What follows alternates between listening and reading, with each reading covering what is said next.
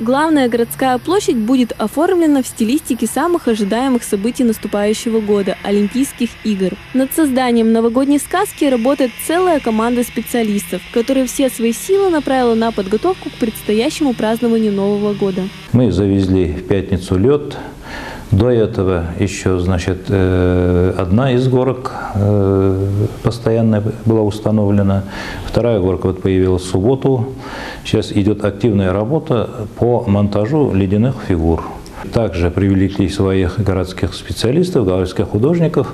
Они обещают нам интересный, красивый э, городок. В этом году ледовые скульптуры разместят вокруг центральной елки. На данном этапе строительства ледового городка сделана лишь четвертая часть работ. Идейным вдохновителем и создателем уже не первый год является Решат Нурдинов, который профессионально оформляет сцены города, а также создает ледовую скульптуру новогодней елки. Будут представлены изо льда фигуры тех персонажей, которые выбрали на Сочинскую Олимпиаду, на Паралимпийские игры. Именно скульптур, да. э, как бы, как таковых будет шесть, но будут еще скульптурные элементы, их у нас еще там еще порядка пяти, наверное, или шести будет.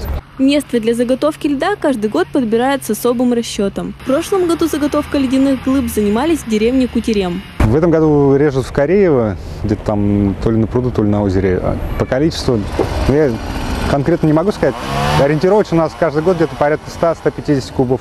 Тем временем главный атрибут Нового года – величественная ель уже третью неделю радует нефтекамцев своей красотой. Сейчас установлены постаменты для фигур и смонтирован каркас сцены, на которой будут проходить все праздничные выступления. Позже рабочим предстоит оформить новогодний городок световой иллюминацией. И также нефтекамцев ждет еще один сюрприз.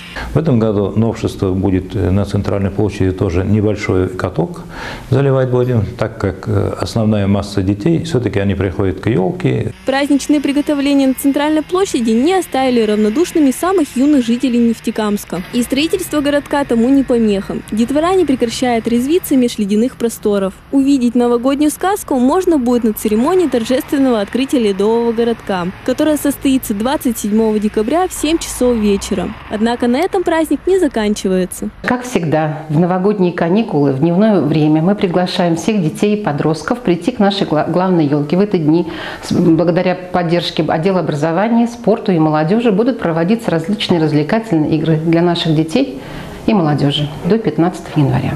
Кроме того, на территории парка будут установлены еще две большие горки. На них детишкам можно будет кататься до февраля. А первые секунды наступившего 2014 года планируется отметить большим красочным салютом. Ирина Потапова, Иван Кузнецов. Информационная программа «Ежедневник».